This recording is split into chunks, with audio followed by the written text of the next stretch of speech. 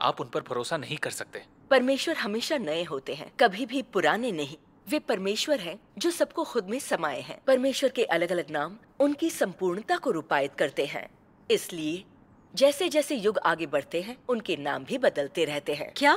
परमेश्वर के नाम उनकी संपूर्णता को नहीं दर्शाते? यहोवा पूरी तरह से संपूर्ण परमेश्वर को दर्शाते हैं और उद्धारक यीशु परमेश्वर के और भी अधिक संपूर्ण रूप को दर्शाते हैं। इन सच्चाइयों को ईसाइयों ने हज़ारों साल से स्वीकार किया है। और परमेश्वर में हमारी आस्था को कोई नकार नहीं सकता। बिल्कुल ये दो नाम यहोवा और यीशु परमेश्वर को उनकी संपूर्णता में दर्शा सकते हैं। इसको नकारा नहीं जा सकता। यीशु मसीह वे हैं जिन पर लोग परमेश्वर में अपनी आस्था रखकर अपनी रक्षा के लिए भरोसा करते हैं। आप तो परमेश्वर के नाम को नकार रही हैं, फिर आपको उपदेश देने का क्या हक है? परेशान मत होइए। जरा मेरी बात बहुत तो हो गया है पिंग। आप प्रभु को धोखा दे चुकी है। हम आपसे कुछ नहीं सुनना चाहते। सिस्टर ली शांत हो जाइए। हम सिस्टर फैंग और दूसरों को सुनना चाहते हैं फिर हाँ हाँ, सोचेंगे। शांत हो जाइए। आइए थोड़ा और सुने। जहाँ तक परमेश्वर के हर नाम से उनकी संपूर्णता को दर्शा सकने का सवाल है, ये ऐसा नहीं जिसका निर्धारण लोगों द्वारा किया जा सके। आइए देखें इस बारे में सर्वशक्तिमान परमेश्वर क्या कहते हैं। कृपया पृष्ठ 925 पर नज़र डालें।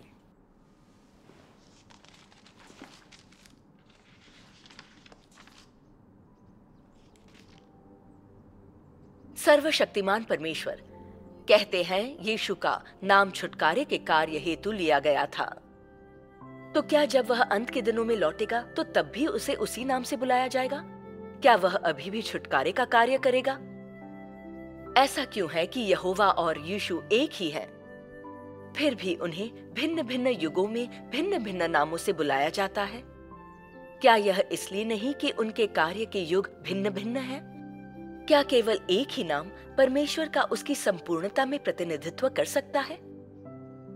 इस तरह, भिन्न युग में परमेश्वर को भिन्न नाम के द्वारा अवश्य बुलाया जाना चाहिए। उसे युग को परिवर्तित करने और युग का प्रतिनिधित्व करने के लिए नाम का उपयोग अवश्य करना चाहिए। क्योंकि कोई भी एक नाम पूरी तरह से परमेश्वर स्वयं का प्रतिनिधित्व नहीं कर सकता है। और हर नाम एक खास युग में परमेश्वर के स्वभाव का लौकिक स्वरूप ही दर्शा पाता है। और प्रत्येक नाम को केवल उसके कार्य का प्रतिनिधित्व ही करना है। इसलिए, समस्त युग का प्रतिनिधित्व करने के लिए परमेश्वर अपने स्वभाव के लिए हितकारी किसी भी नाम को चुन सकता है। क्या यीशु का नाम परमेश्वर हमारे साथ, परमेश्वर के स्वभाव को उसकी समग्रता से व्यक्त कर सकता है? क्या यह पूरी तरह से परमेश्वर को स्पष्ट कर सकता है? अगर इंसान कहता है कि परमेश्वर को केवल यीशु कह सकते हैं, कुछ और नहीं, क्योंकि परमेश्वर अपना स्वभाव नहीं बदल सकता है तो ऐसे वचन ईश निंदा है। क्या तुम मानते हो कि यीशु नाम परमेश्वर हमारे साथ, परमेश्वर का समग्रता से प्रतिनिधित्व कर सकता है? परमेश्वर को कई नामों से बुलाया जा सकता है। किंतु इन कई नामों के बीच एक भी ऐसा नहीं है जो परमेश्वर के स्वरूप को सारगर्भित रूप से व्यक्त कर सकता हो। एक भी ऐसा नहीं जो परमेश्वर का पूरी तरह से प्रतिनिधित्व कर सकता हो। और इसलिए परमेश्वर के कई नाम हैं। किंतु ये बहुत से नाम परमेश्वर के स्वभाव को पूरी तरह से स्पष्ट नहीं कर सकते हैं, क्योंकि परमेश्वर का स्वभाव अत्यधिक समृद्ध है।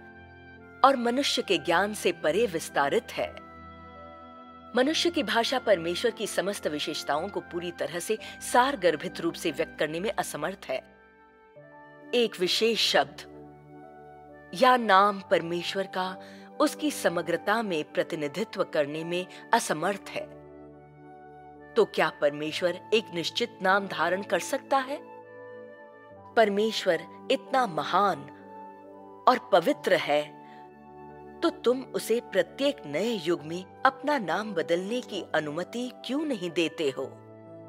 वैसे तो प्रत्येक युग में जिसमें परमेश्वर स्वयं अपना कार्य करता है, वह एक नाम का उपयोग करता है। अपने कार्य को सार गर्भित करने के लिए वे युग को लाभ पहुँचाने वाला नाम इस्तेमाल करते हैं। वह उस युग के अपने स्वभाव का प्रतिनिधित्व करने के लिए इस विशेष नाम, एक नाम जो अस्थायी महत्व से संपन्न है, का उपयोग करता है। परमेश्वर अपने स्वयं के स्वभाव को व्यक्त करने के लिए मनुष्य की भाषा का उपयोग करता है। अच्छा तो ये बात है। परमेश्वर के नामों के बदलने के पीछे बहुत से रहस्य हैं। बिल्कुल सही। ये वचन बहुत व्यवहारिक है। स्वयं परमेश्वर के सिवाय ये वचन और कौन बोल सकते हैं? ये सच है। हमारे परमेश्वर का स्वभाव बहुत गुणवान है। सिर्फ़ एक नाम उनको संपूर्ण रूप में दर्शा नहीं सकता। परमेश्वर का धन्यवाद।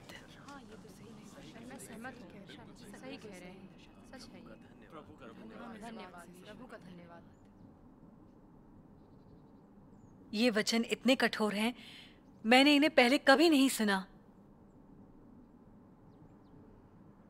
भाइयों और बहनों परमेश्वर बुद्धिमान सर्वशक्तिमान शासक हैं।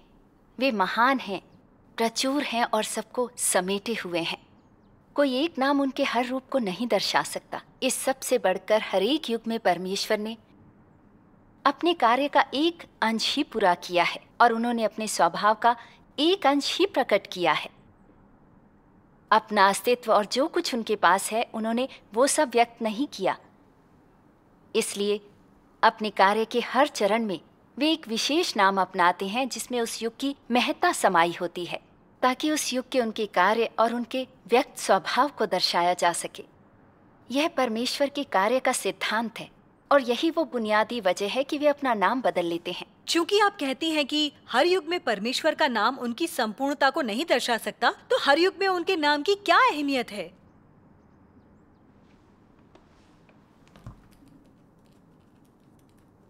सिस्टर वांग ये अहम सवाल है ये परमेश्वर की हमारी समझ के लिए मददगार हो सकता है। सुनिए सर्वशक्तिमान परमेश्वर ने हमें इस सवाल का जवाब दिया है। सभी लोग कृपया पृष्ठ 1202 देखें।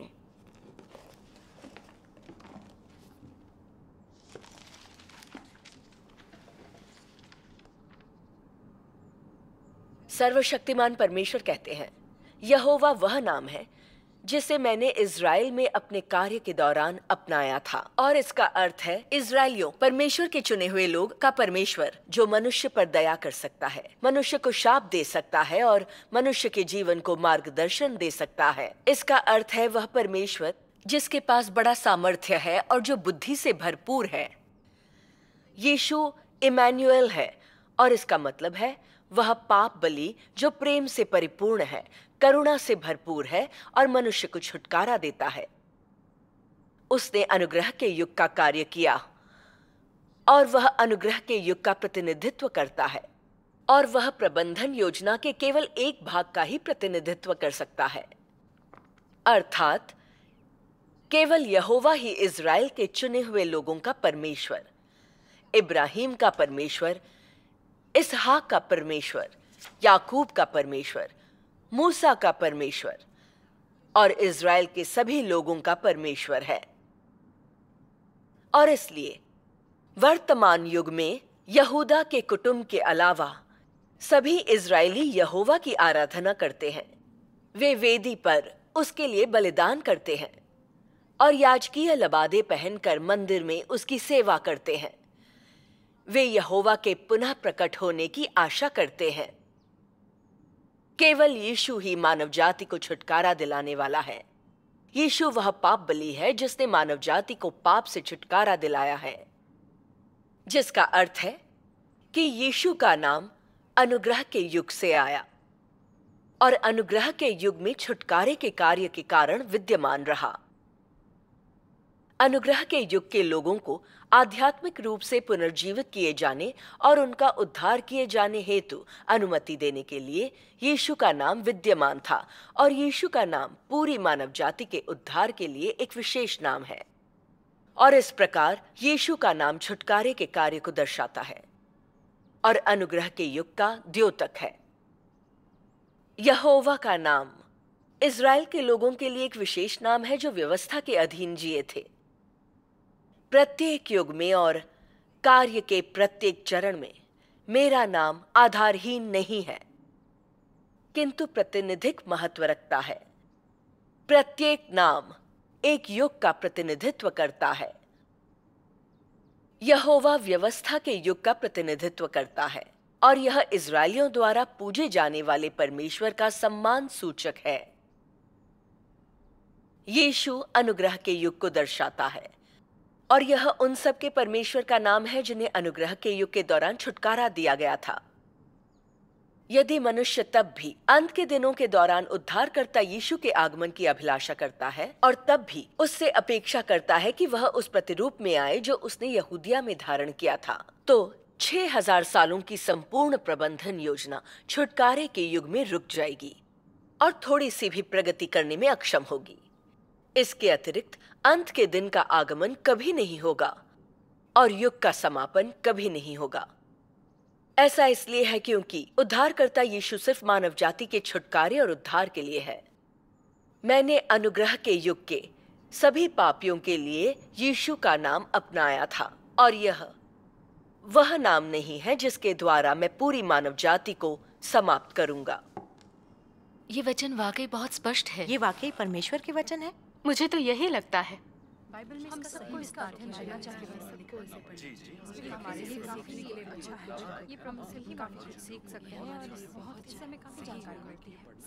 इन वचनों से ये साफ़ है कि परमेश्वर के नामों में वाकई कोई रहस्य छुपे हुए हैं।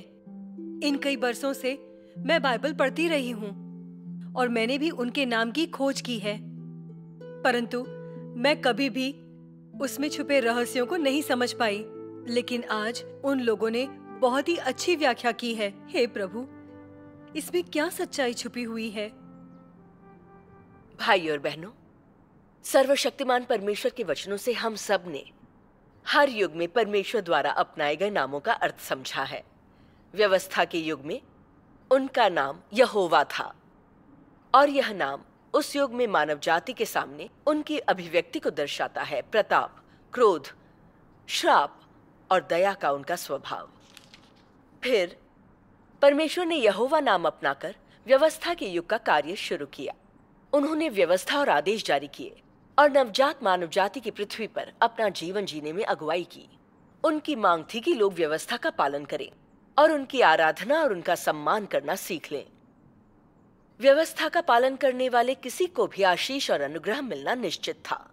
जो कोई व्यवस्था को तोड़ता उसे पत्थरों से मार दिया जाता या स्वर्ग की ज्वाला में भून दिया जाता। इसलिए व्यवस्था में जीने वाले इसराइलियों ने सख्ती से इसका पालन किया और यहोवा के नाम को पवित्र माना। कुछ हज़ार सालों तक व्यवस्था के युग की समाप्ति होने तक वे यहोवा नाम के अधीन रहे। व्यवस्था के युग का अंत होने पर, चूँकि मानव जाति भ्रष्ट हो गई थी और उनका पाप बढ़ रहा था, इसलिए लोगों के सामने व्यवस्था को बनाए रखने का कोई रास्ता नहीं रह गया था। सब पर व्यवस्था तोड़ने के लिए दंड पाने का सतत खतरा मंडरा रहा था। इसी वजह से परमेश्वर ने यीशु नाम धारण कर पाप मुक्ति का कार्य किया। उन्होंने परमेश्वर का प्रेम और दया का स्वभाव व्यक्त करके अनुग्रह के युग की शुरुआत की और व्यवस्था के युग का अंत किया। उन्होंने इंसान पर अनुग्रह बरसाया। उन्हें मनुष्य की खातिर सूली पर चढ़ा दिया गया। ताकि हमें हमारे पापों से छुटकारा मिल सके। उसके बाद से हमने यीशु नाम की आराधना करना और उनके नाम को पवित्र मानना शुरू किया, ताकि हमारे पापों के लिए माफ़ी मिले और हम उनके अनुग्रह का आनंद उठाएँ। यीशु नाम ऐसा है कि अनुग्रह के युग के लोग दोबारा जन्म लेकर उद्धार प्राप्त कर सकें। इसका अर्थ मानव जाति के छुटकारे के लिए दया और प्रेम की पाप बलि होना है। यीशु नाम परमेश्वर की पाप मुक्ति के कार्य को दर्शाता है। और यह उनकी दया और प्रेम के स्वभाव को भी रूपायित करता है। भाई और बहनों, परमेश्वर द्वारा पूरे किए गए कार्य दो चरणों से हम देख सकते हैं कि हर युग में वे जो भी नाम अपनाते हैं, उसकी अपनी अहमियत है। प्रत्येक नाम परमेश्वर के उस युग के कार्य को और उनके स्वभाव को दर्शाता है। अनुग्रह के युग में, जब प्रभु आए तो अगर उन्हें यीशु न कहकर यहोवा कहा जाता तो परमेश्वर का कार्य व्यवस्था के युग में रुक गया होता। और भ्रष्ट मानव जाति को परमेश्वर से पाप मुक्ति नहीं मिलती। आखिर में, व्यवस्था तोड़ने के लिए मनुष्य की निंदा हुई होती और उसे दंड मिला होता। और जब परमेश्वर अंत के दिनों में आए, तब यदि उन्हें यीशु कहा जाता तो भ्रष्ट मानव जाति को केवल अपने पापों से छुटकारा मिल पाया होता। परंतु उसे परमेश्वर के राज्य में प्रवेश करने के लिए बचाया नहीं जाता। ऐसा इसलिए कि प्रभु यीशु में विश्वास करके हमारे पाप माफ़ कर दिए जाते हैं। लेकिन हमारा पापी स्वभाव फिर भी मौजूद रहता है। हम अब भी अक्सर पाप करते हैं, जिस वजह से हम परमेश्वर को प्राप्त नहीं हो पाते। इसलिए मानव जाति को पूरी तरह से पाप से बचाने के लिए परमेश्वर अब एक और चरण का कार्य कर रहे हैं, जो कि प्रभु यीशु के कार्य की बुनियाद पर मानव जाति को पूरी तरह से शुद्ध करने और बचाने का है। इसलिए परमेश्वर का नाम अवश्य बदलना चाहिए।